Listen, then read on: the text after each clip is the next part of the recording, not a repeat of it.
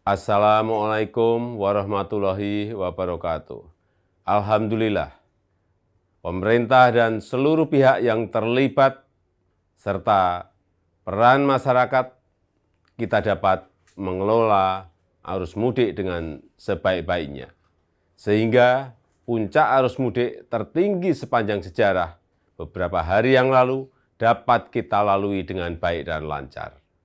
Beberapa hari ke depan kita akan dihadapkan pada kondisi arus balik Data Kementerian Perhubungan, Kemenhub memprediksi setidaknya 203 ribu kendaraan per hari dari arah timur jalan tol Trans Jawa dan dari arah Bandung diperkirakan akan melalui tol Jakarta Cikampek.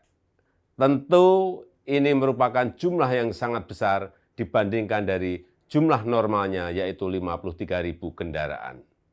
Oleh karena itu, untuk memecah penumpukan yang terjadi pada puncak arus balik di tanggal 24 dan 25 April 2023 secara bersamaan, pemerintah mengajak masyarakat yang tidak ada keperluan mendesak untuk menghindari puncak arus balik tersebut dengan cara menunda atau mengundurkan jadwal kembali mudik setelah tanggal 26 April 2023. Ketentuan ini berlaku untuk ASN, TNI, Polri, dan BUMN ataupun pegawai swasta yang teknisnya dapat diatur oleh instansi atau perusahaan masing-masing seperti bentuk cuti tambahan atau bentuk cuti lainnya.